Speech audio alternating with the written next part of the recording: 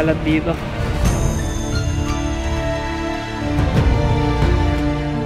Nakakalan. Papakal na lang tayo. Pinakaw ng bisikleta. Pahuli ko anak ko ngayon.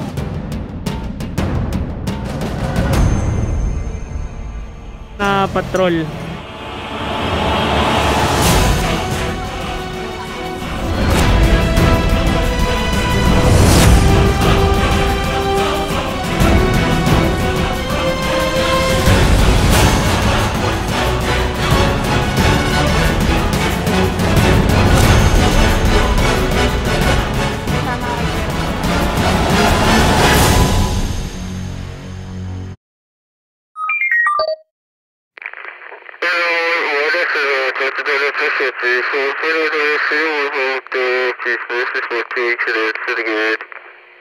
Pag-ibig ko sa'yo lang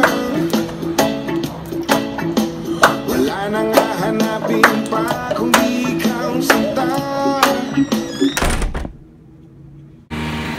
Good morning, good morning.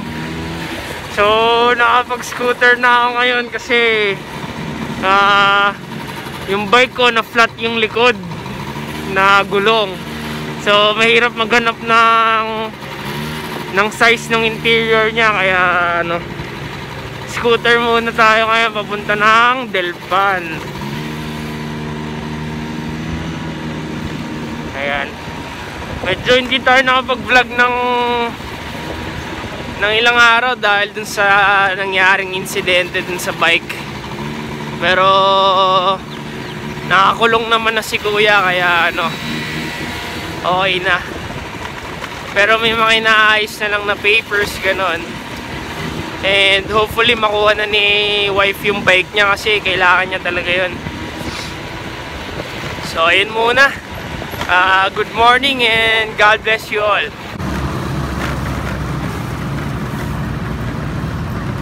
Dito tayo sa kahabaan ng Delpan. Ayan. Ayun na yata yung team nila Sir Egay. Wow, sakto lang ang dating natin.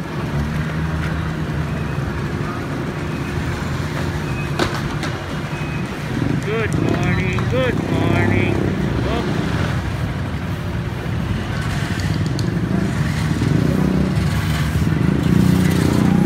Alright. Team DPS, good morning.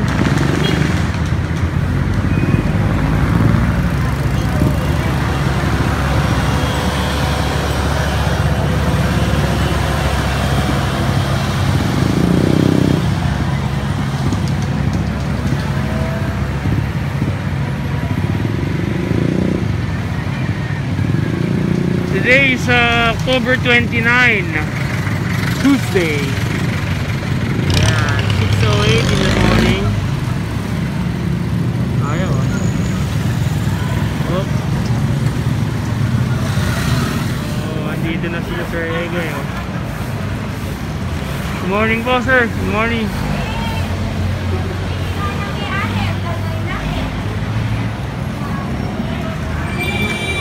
Sir Ege, good morning po.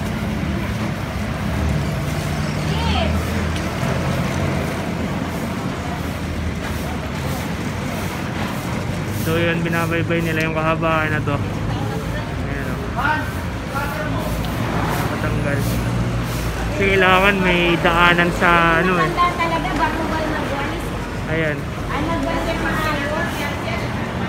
Ayun, pinapatanggal yung mga tali oh. Pinaka-cutter nila.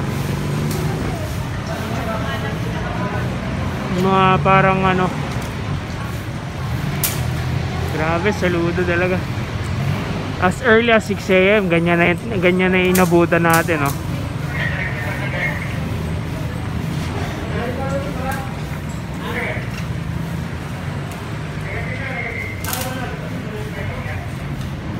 As early as 6 a.m. Hindi ako nakapag ah, hindi ako nakapag-bike ngayon kasi nga ano flat yung gulong ng ano ng bike.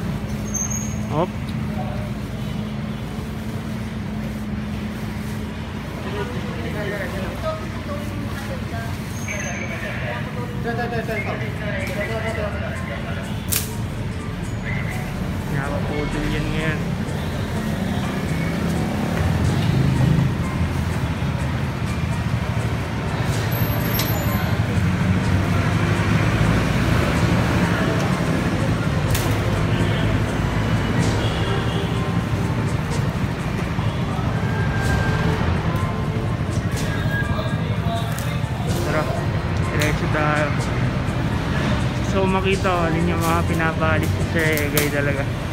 Ayan o, mga tali, tanggal.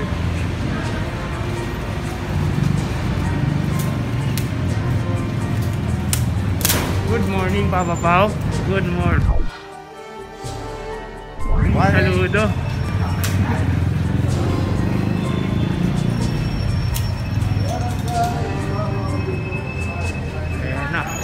Buhay na buhay na naman ang Tuesday natin. Mukhang ma-action na naman. Ayan o. Nakapatanggal yan. May mga ano kasi doon, sabit-sabit talaga. Tara, tingnan natin kung nasan si ano. Sir Egay.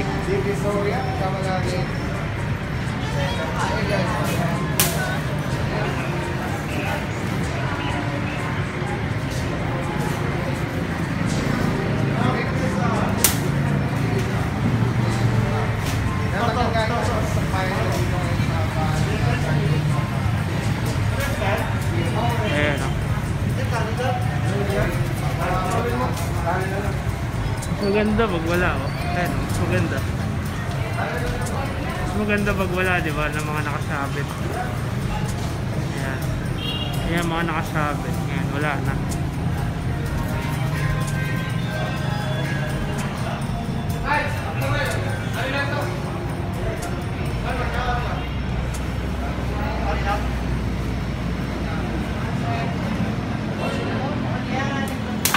Oop. Talagang ano, ibang ibang ano, galawan ng DBS team numero uno. DBS head Sir Kenneth Amorao. Boss Vix and Sir Egay. Yan, District 1 numero 1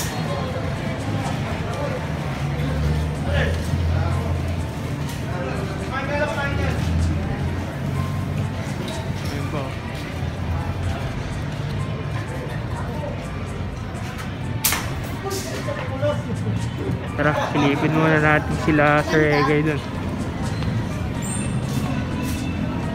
Good morning, sir.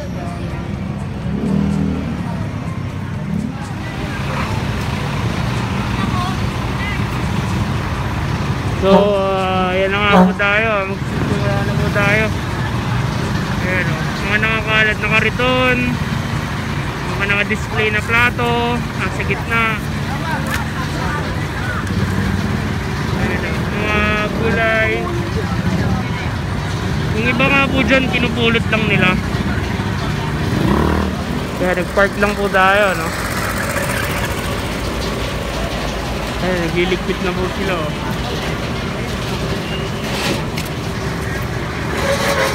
Kasi sinisito na po ng DBS team. Kasi nga, ano na, kailangan mapalawag na yung kalye.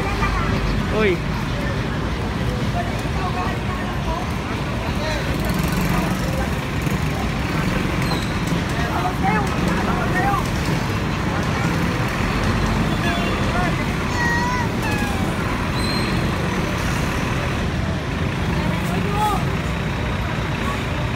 Yung iba po sa kariton sila na tutulog, ganun.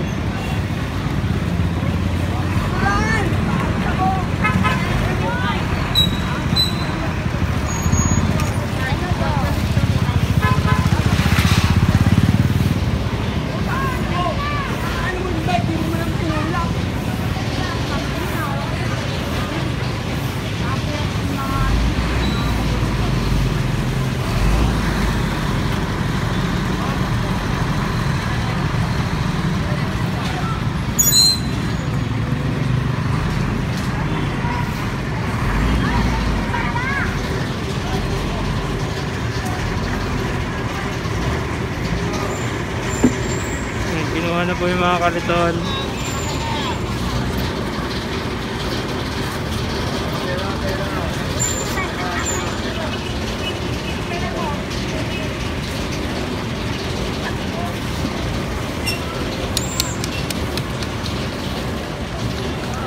Itong kahabang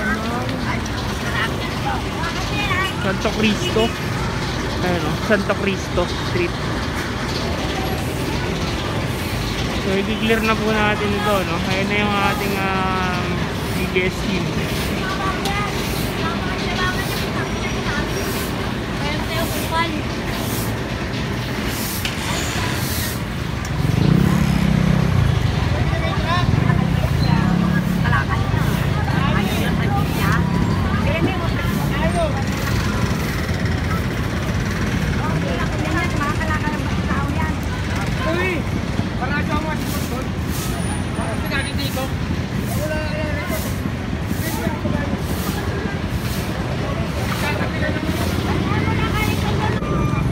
Kailang.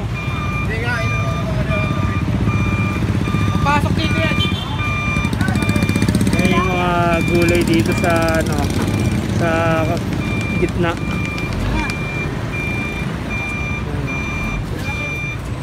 Mga nakatambak na gulay sa gitna. Yung iba nating kababayan, medyo yung kinaugalian nila hindi pa masyadong nababago ano. Dito sa gitna marami pa rin. Mamumulot tapos yung ano napamulot nila ititinda nila ayun o Habaan.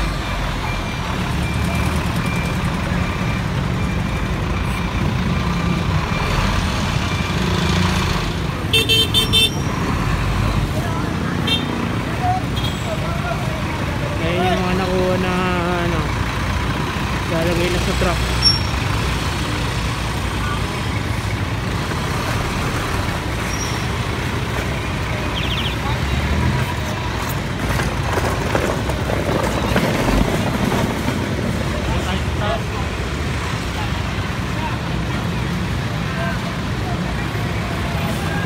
yung mga gulay na natapon. Grabe no? Sobrang mahal ng gulay tapos dito natatapon lang pala no? Carrots ang mahal sa palengke niyan.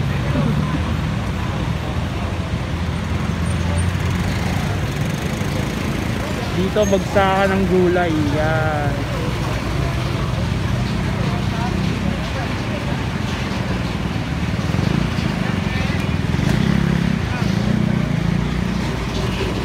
So ayan, ah, malinis na nga po mga kaibigan. Kinuha na yung mga styro styro. So ah, tuloy tayo. Start na tayo ng clearing ah, clearing operation dito sa Santo Cristo. Ayan, naka naka-confiscate na po yung ating team DBS ng mga lamesa. Diretso tayo dun. Habilisang galaw guys na sila. Ah, naka-warning naman yung ating DBS team dahil sila ng mga payong, lamesa.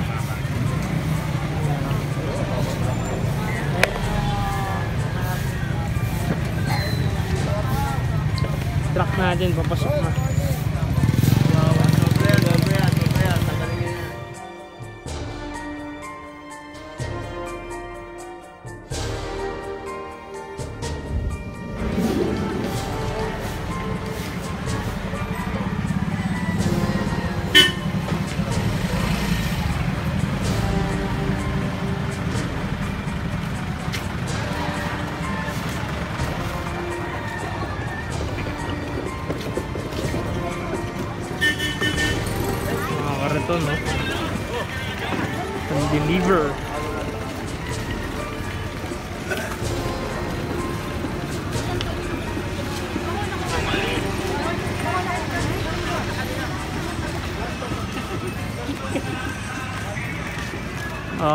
dito nga po ito sa Santo Cristo.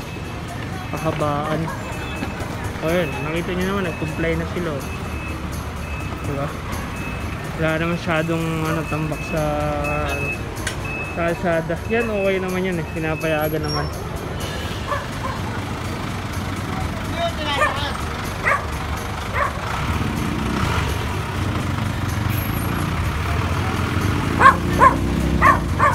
sipag team DPS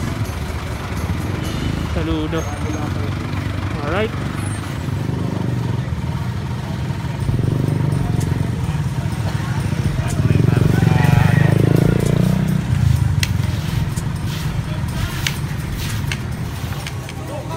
Naayos na nila yung mga bubong nila kasi nasita na.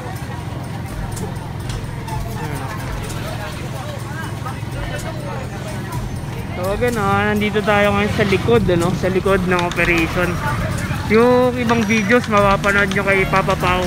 Nasa unahan si Papa Pao. Ayan. Dito tayo sa likod. So yung mga nasita, ayan na, ayan, yung mga nasita. Tatry natin i-capture yung ibang angulo. Nasa unahan sila Papa Pao eh. Eh, tinuturo na nila.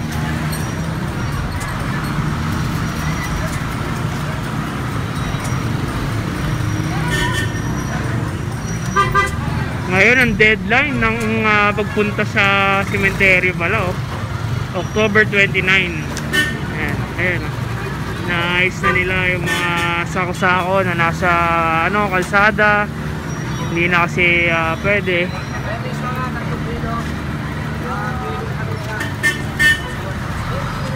Ayun, pati yung mga bubong.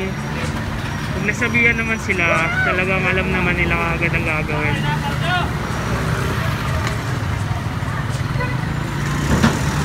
Ayun nga, may mga na-confiscate nga na ano, mga paleta. Ayun, mga paleta. Mga box.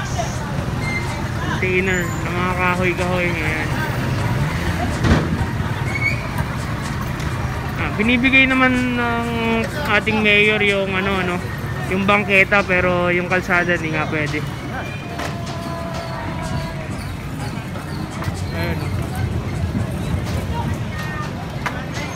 Tara tingnan natin. Malapitan. Ayun, nandun pala si Papa Pao. Ayun. Panoorin nyo sa kanya ibang videos na hindi ko nakukuhanan. Ay, nakumpis ka na nga yung mga lagayan ng gulay, ano?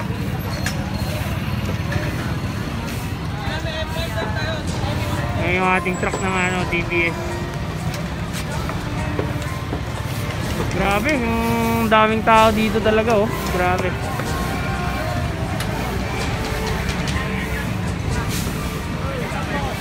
Oh, nagtitinda ng manok-manok. Sa gilid, mga isda-isda. Wet market talaga. Yun nga lang, nasa kalsada.